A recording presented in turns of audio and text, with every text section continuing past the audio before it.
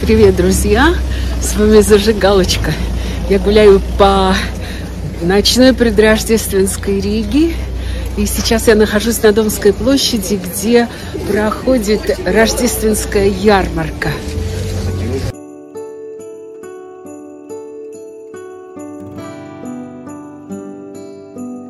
Сейчас время года, когда повсюду зажигают елки, украшают улицы и витрины, везде играет музыка, и мы готовимся к Рождеству.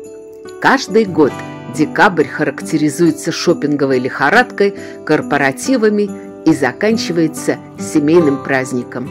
Но есть еще одно событие, которое создает праздничное настроение уже в ноябре.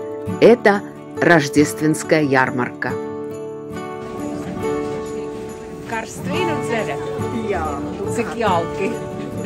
Вы пьете горячее вино? Да. А что в составе? Ну, бальзамчик, конечно. А что еще? А вот не знаю, надо у соседа спросить.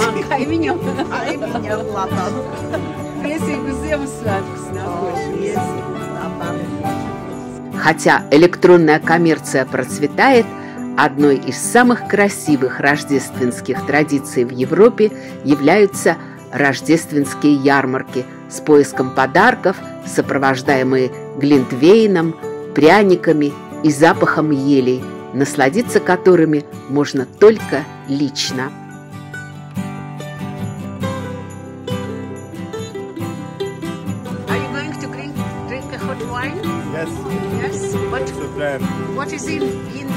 Вы собираетесь пить горячее вино? Да. А что в составе? Это малиновый напиток с шиповником.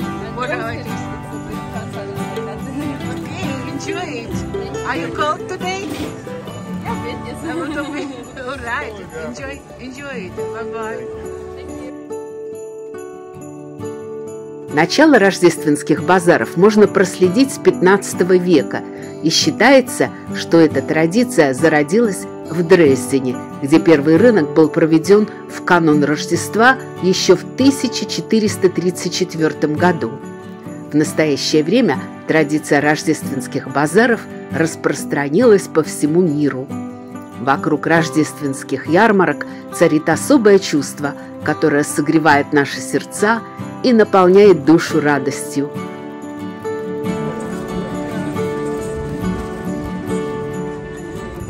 Вы пьете горячее вино? Да. А что в составе? Бальзамчик с черно-смородиновым соком.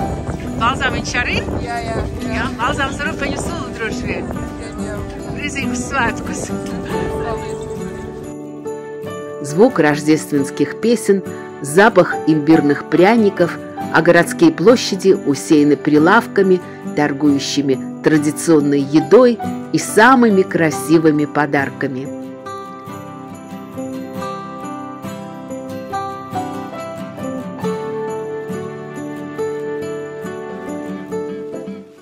Иностранные туристы признают наши рынки одними из самых красивых в Европе.